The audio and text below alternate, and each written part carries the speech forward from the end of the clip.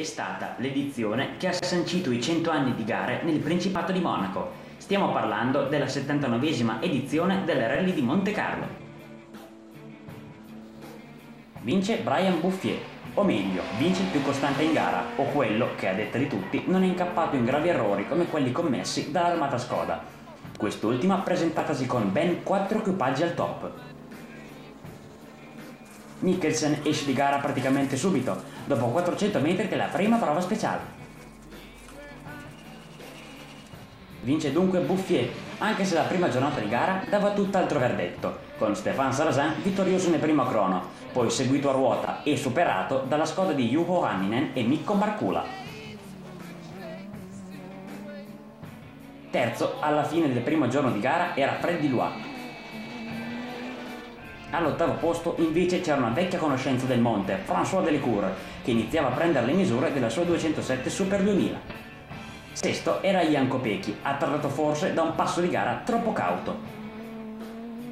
Secondo giorno di gara. Sulla settima speciale inizia a nevicare e Bouffier va letteralmente in fuga, complice anche un'ottima scelta di gomme. Per la Skoda invece è una disfatta totale, Kopecky perde più di 7 minuti in due prove del gruppo dei primi. Annien invece cerca di contenere i danni, ma la scelta di montare gomme intermedie è stata fatale anche per lui. Delecour dal canto suo sfoderà tutta l'esperienza che ha su questi fondi, dominando sulla neve. Sale in classifica fino al secondo posto, ma Bouffier sembra ancora imprendibile.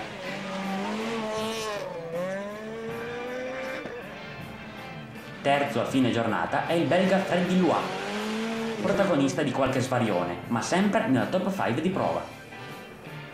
Svarioni che commette anche il leader Bouffier.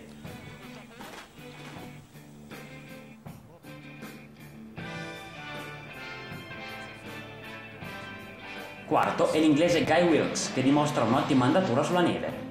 Anninen con la debacle del team cieco è pur sempre sesto. Al settimo posto c'è Peter Solberg alla sua prima gara in Super 2000. Anche lui paga qualcosa per una toccata e fa segnare un ritardo di circa 4 minuti dalla vetta. Nono a 5 secondi e 31 è Nicola Bouillot. In gruppo N domina Gonon su Subaru.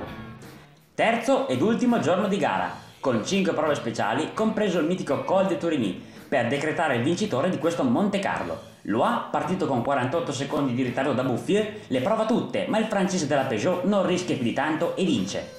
Segue Fast Freddy, Guy Wilkes che completa il podio. L'inglese è stato autore di una gara da incorniciare, su un fondo lui poco congeniale.